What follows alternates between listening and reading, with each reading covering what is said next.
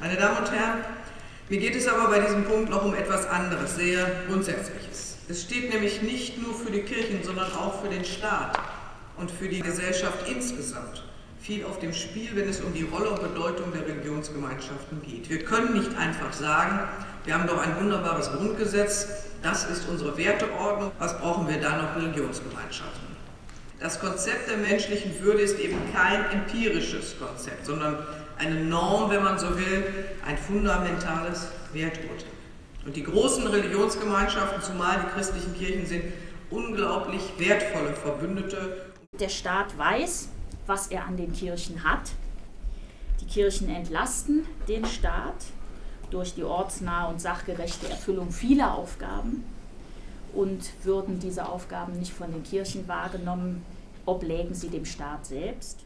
Dass wir aufgrund der Subsidiaritätsstrukturen auch unseres Bundeslandes für viele Wirklichkeiten mit aufkommen, die in anderen Staatsorganisationsstrukturen gänzlich staatlich sind, angefangen von den Kindertagesstätten über die Krankenhäuser, über die Wirklichkeiten, die mit der Pflege zu tun haben, über das Bildungswesen.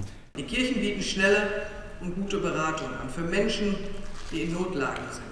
Schuldnerberatung, Suchtberatung, Schwangerschaftsberatung, Telefonseelsorge, Bahnhofsmission, vieles, vieles, vieles mehr. Das Stichwort Pille danach, das ist, glaube ich, der Teil, wo wir auch in der Bevölkerung nochmal die große Diskussion darüber hatten, dass eben in einem äh, Krankenhaus in katholischer Trägerschaft dort eben diese, äh, dieses diese Unterstützung für eine Frau in einer Notlage verweigert wurde.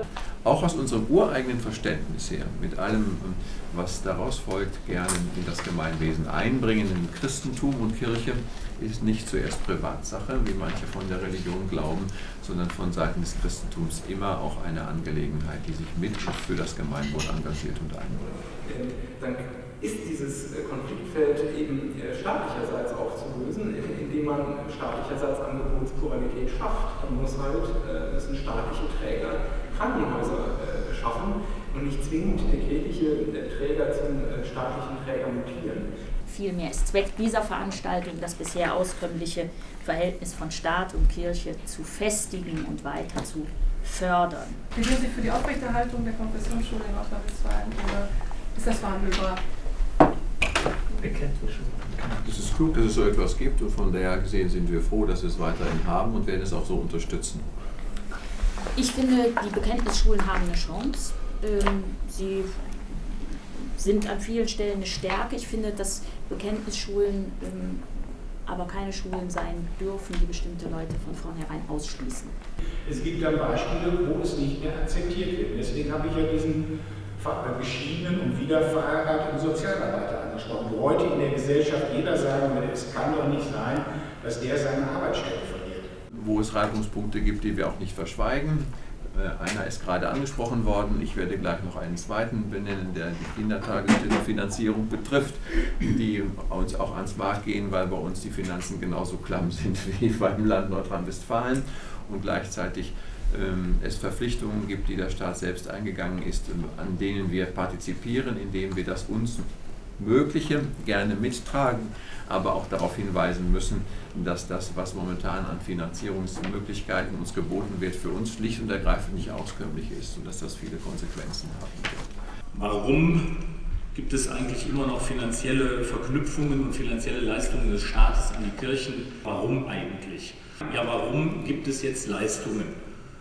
um nicht irgendwann äh, Konsequenzen ziehen zu müssen, die wiederum den, äh, dem Land Nordrhein-Westfalen über die Kommunen vor die Füße fallen. Wenn wir nämlich sagen müssen, wenn wir nicht anders finanziell auskömmlich mitfinanziert werden, können wir die bisher getragenen Kindertagesstätteneinrichtungen nicht weitertragen.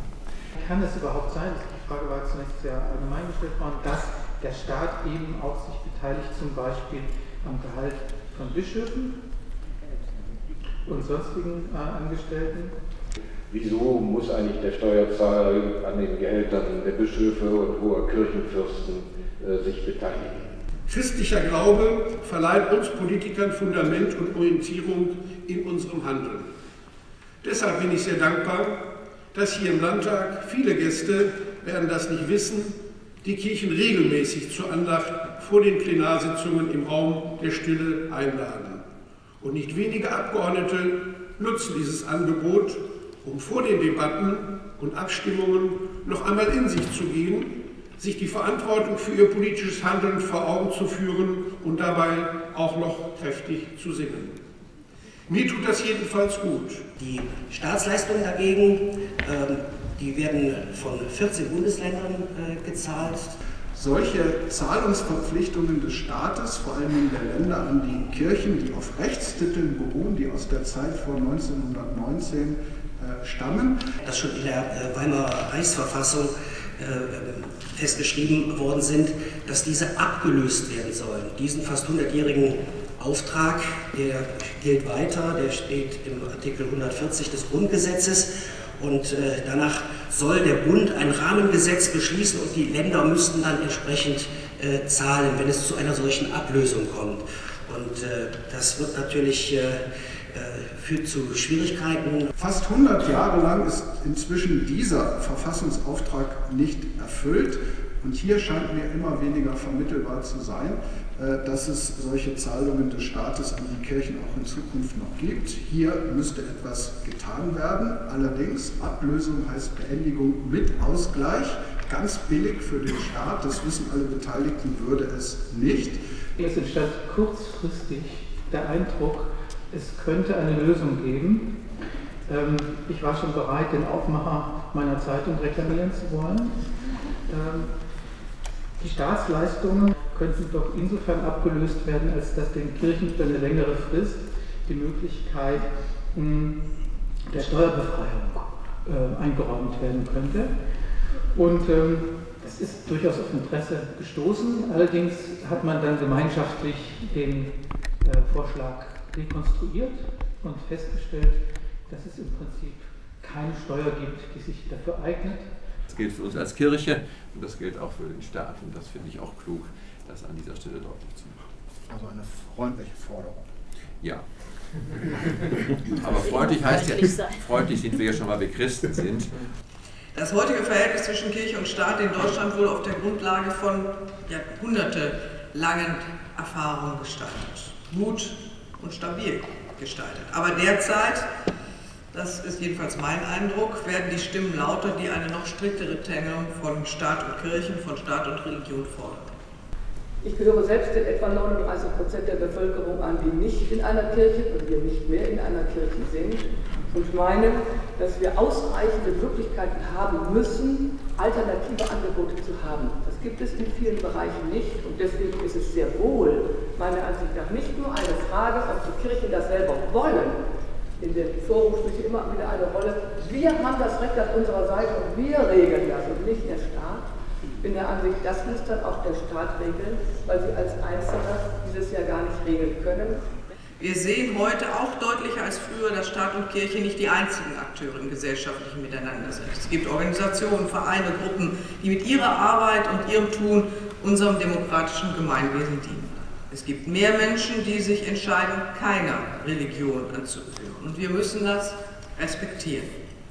Es sind mehr, deshalb keine schlechteren Bürger. Das ist mir wichtig. Und es gibt mehr Religionen in Deutschland als früher war die Kirchenaustrittsgebühr. Die Grünen haben ja beschlossen, ähm, dass sie darauf hinwirken möchten, dass die Kirchenaustrittsgebühr abgeschafft wird. Das wird man thematisieren, das ist auch nichts Einiges, aber das wird man dann thematisieren, zum Beispiel 2017, äh, dass wir doch vertreten werden, das rückgängig zu machen oder zumindest deutlich zu reduzieren. Da würde ich gerne wissen, wie denn die beiden Kirchen dazu stehen Ihnen gestehen. Gibt es eine Kirchenaustrittsgebühr? Ich weiß also 30 Euro. Wenn ich, wenn ich, also, ich bin doch, ich bin doch ehrlich gesagt neu. Ich selbst eine Verwaltungsgebühr. Die ist eine Verwaltungsgebühr. Ja, das kann, man, das kann man erhellen. Es ist die Gebühr, die das genau. Land, also so, die, nicht wie unsere.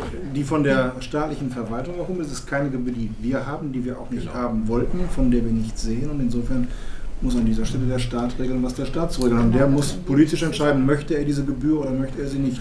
Das ist nicht unsere Gebühr. Aber, also deswegen aber war wir irritiert. eine Meinung dazu. Die Frage war, ob, ob die Kirchen bereit ja. sind, diese Gebühr zu übernehmen, war heute in dem ja. Forum. Ach so. Äh, Ach so.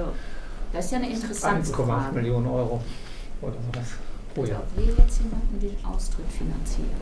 Ja. ja. Ist ja pikant. Zumal der Eintritt nichts kostet, muss man vielleicht noch dazu sagen. Das wurde auch diskutiert.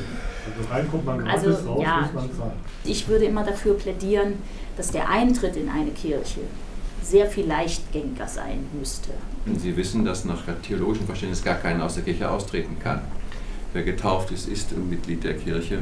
Der Austritt doch eine Schwelle darstellen sollte, nicht finanzieller Art, ähm, sondern vielmehr doch nochmal zu überlegen, also für beide Seiten. Nicht, dass ich jemanden daran hindern will, aber es würde mir helfen. Freundlich sind wir ja schon, weil wir Christen sind. Und äh, das heißt trotzdem nicht, dass wir ähm, nicht hartnäckig bleiben. Wunderbar.